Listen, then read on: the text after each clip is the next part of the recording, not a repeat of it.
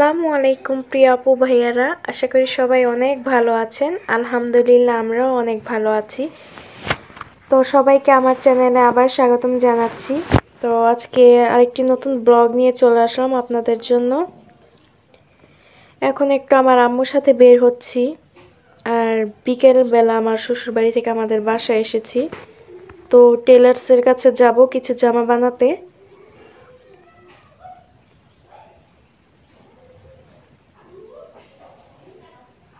এটা হচ্ছে আমাদের বাড়ির পাশে কলা গাছগুলো লাগানো। তো ভাবলাম একটু শ্যুট করে নিই। আর এটা হচ্ছে আমাদের বাড়ি। তো এখন একটা রিক্সায় উঠে নিলাম।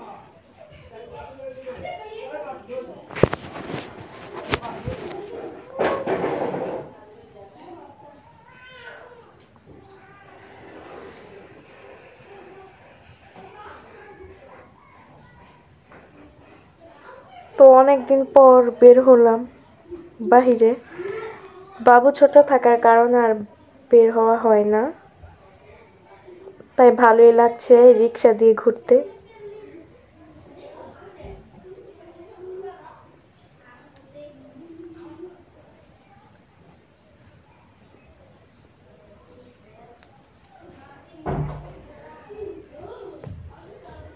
তো যখন আমরা রোড পার হব, তখন এসে দেখি যে রাস্তার কাজ করতেছে। সেজন্য রিক্সাওয়ালা আমাদের মাঝে রাস্তায় নামিয়ে দিছে। কারণ বলতেছে যে, আপনারা এখন যেতে পারবেন না, এদিক দিয়ে রিক্সা যাওয়া যাবে না তাই। তো অনেকখানি জায়গা আমাদের আবার হেঁটে যেতে হয়েছে তো রাস্তা কিন্তু বিশাল বড় করতেছে এই জন্য অনেক সুবিধাও হয়েছে আমাদের। দেখা যায় আর যানজট লাগবে না।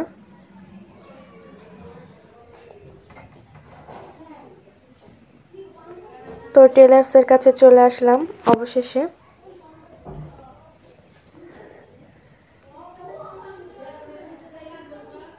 তো এটা হচ্ছে পরের দিন আমার শ্বশুর বাড়িতে দুপুরবেলা রান্না করব।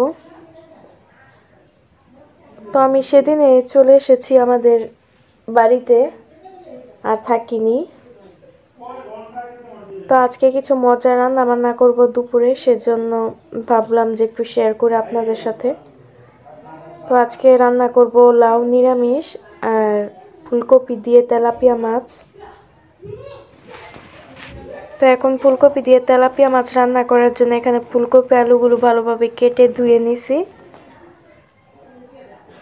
আর এদিকে লাউগুলো কেটে ধুয়ে রাখছি।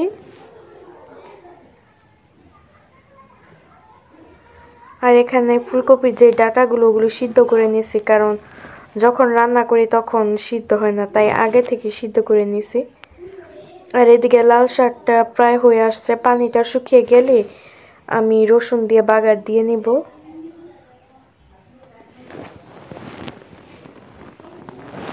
আর এদিকে এখন পরিমাণ মতো লবণ দিয়ে দিলাম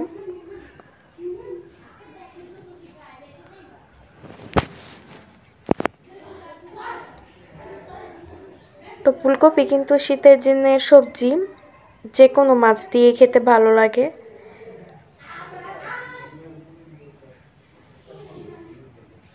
তো এখন আদা, রসুনের পেস্ট দিয়ে দিলাম।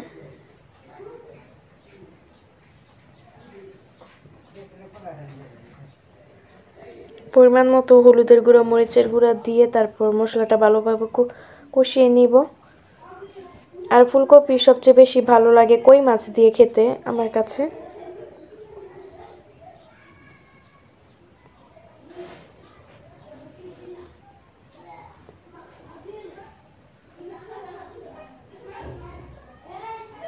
তো এখন পানি অ্যাড করে দিলাম।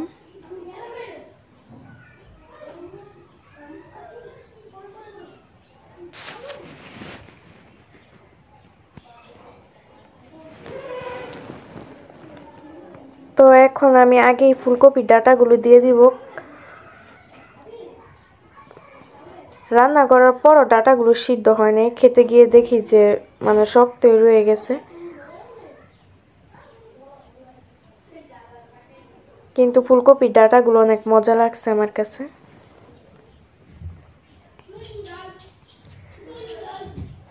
তো এখন ফুলকপিগুলো আর আলুগুলো দিয়ে এখন ভালোভাবে নেড়ে নিব।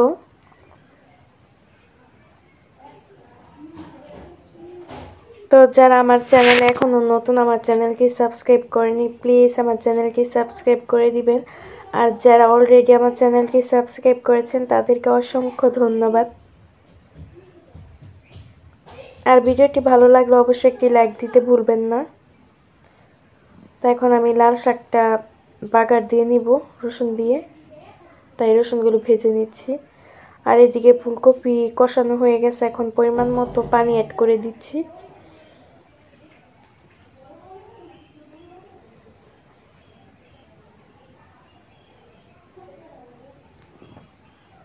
তো ফুলকপিটা পানি অ্যাড করার শেষে আমি মাছগুলো দিয়ে দিছি আর ধনিয়া পাতা উপর থেকে দিয়ে দিছি।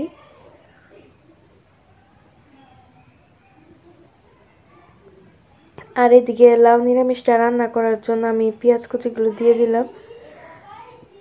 আজকে লাউটা কোনো মাছ দিয়ে রান্না করব না।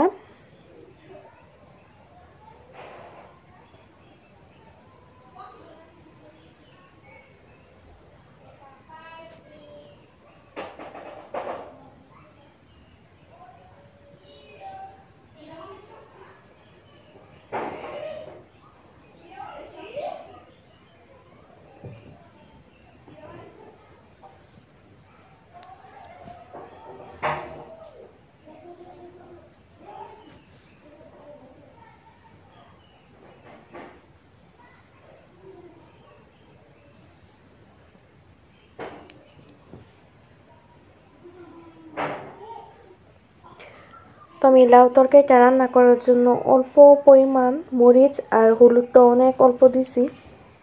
কারণ লাউ তরকারিতে বেশি হলুদ ইউজ করে না। লাউ তরকারি কিন্তু আমাদের শরীরের জন্য অনেক ভালো, বিশেষ করে গরমের দিনে লাউটা খেলে শরীরটা আর কি ঠান্ডা হয়ে থাকে।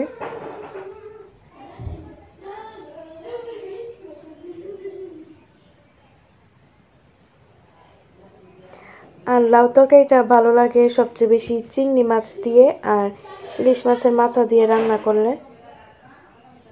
তো আগে যখন আম্মু লাউ রান্না করতো, আমি ভাত দিয়ে খেতাম না, এমনি লাউ খেতাম, আমার তো খুব ভালো লাগতো।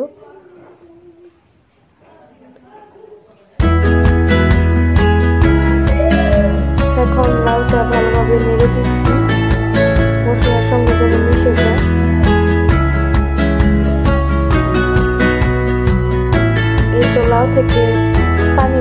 আসছে লাউটা মোটামুটি প্রায় সিদ্ধ হয়ে এসেছে। এখন নামিয়ে ফেলব। লাউ কিন্তু এক্সট্রা আমি পানি অ্যাড করিনি এমনিতে পানি চলে আসছে, আর এদিকে ভাত বসিয়ে দিছি। তো এখন হচ্ছে দুপুরবেলা আর কি আমার ভাত খেতে ইচ্ছে করতেছে না কেন জানি। তাই আমি ভাবলাম যে একটু নুডলস রান্না করে নেই, নুডলসই খাব। সবসময় আর কি ভাত খেতে ইচ্ছা করে না। রাতে আবার লাউ তরকারি আর ফুলকপি তরকারি দা ভাত খেয়েছি পেট ভরে। তো নুডলসটা আমার কাছে খুব ভালো লাগে।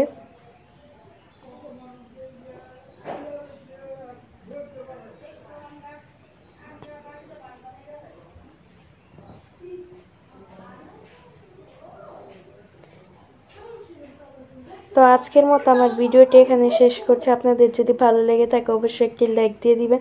আর প্লিজ আমার চ্যানেলটি সাবস্ক্রাইব করবেন। সবাই ভালো থাকবেন সুস্থ থাকবেন। আল্লাহ হাফেজ।